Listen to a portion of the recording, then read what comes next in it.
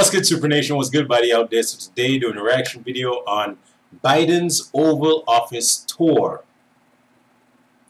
by YT Pewp. Remember, guys, to go over and check out the one and only YT Pewp and tell my sperm So, um, we're getting a tour in Biden's Oval Office. We're, we're going to see some things, and he's going to talk gibberish a couple times. but anyway, with that being said, guys, let's get into this reaction, shall we? Yeah, architecture, yes, all right. Jeff, he's already talking gibberish. This is the White House. This is, I think, noon or 10 o'clock in the morning. No, uh, 4 o'clock. This is my brother's office in here because he's better president than I am.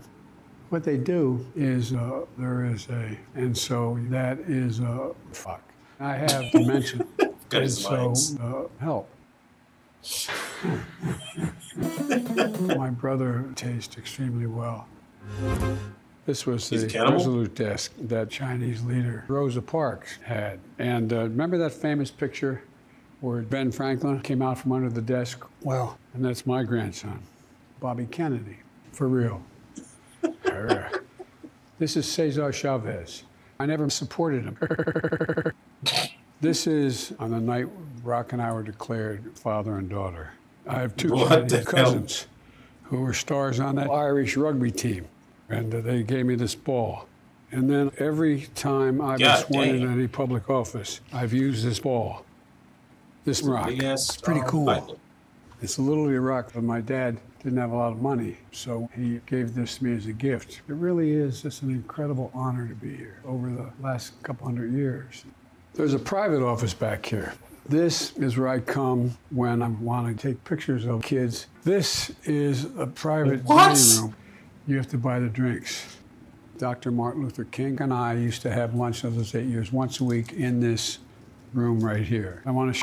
There's only one chair in here.